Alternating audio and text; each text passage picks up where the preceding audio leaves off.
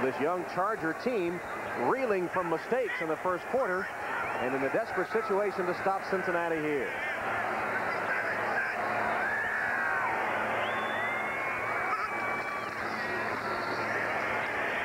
And the give is to Ickey Woods. And Woods comes across the 45. Down to about the 42-yard line. Here's the fumble again by Holland of the kickoff. Well, he gets some good blocking up front. He finds a nice seam, but the ball just pops out of his hands here. I think he was stripped, but I can't tell what player actually stripped the ball from his hand. Got to hold on to that rock. You know, it's kind of evening things up. Cincinnati fumbled the first one. Now San Diego gave it right back to him. Second and six for Cincinnati from the 42-yard line. Bengals with a 13-3 lead as we start the second quarter.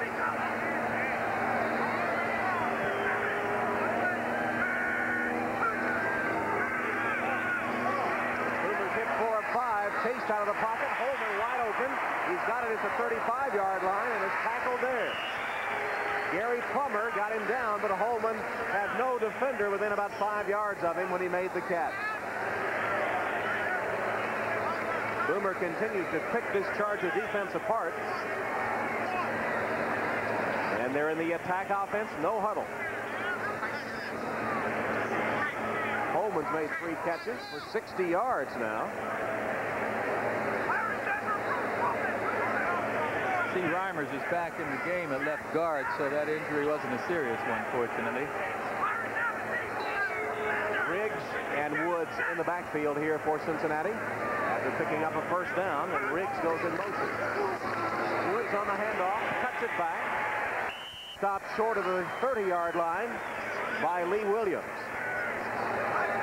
Woods likes that cutback move, doesn't he, Joe? Well, Tom, it's so hard to find a running back behind those big offensive linemen. You know the flow of the play as a defender. You know the flow of the play is going right or left. You start to chase, and then all of a sudden this running back out from behind these huge linemen is going the other direction. Very difficult to stop. Stanley Wilson in at a running back now, replacing Woods. This is Wilson. Good running room. Smacked down. No, it's not. I thought it was. I thought Woods had it. So did almost all the Chargers. Meanwhile, Boomer was hitting, uh, trying to hit McGee in the end zone. Well, I tell you, Tom, between Boomer and you, you had me fooled. I was watching that running play for a moment myself. Gill Byrd made a tremendous recovery and got back to break up a pass that was a sure touchdown. I mean, he was wide open, but Byrd playing in the left cornerback position stayed with the receiver or picked the receiver up coming from across field. We're all faked out. We're looking at this run, but the pass is way downfield. And once again, Gill Byrd made the play to break it up.